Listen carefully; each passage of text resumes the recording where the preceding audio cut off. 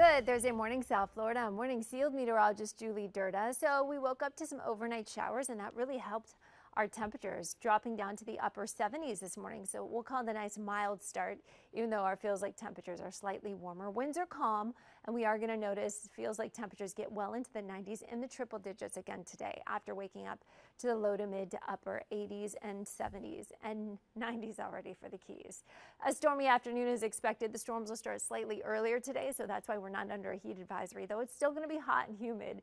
Tomorrow we keep that chance of storms around as well. Next high tide just after 10 a.m. for Broward, Miami-Dade, and the Keys, and that continues our salt water flooding concern.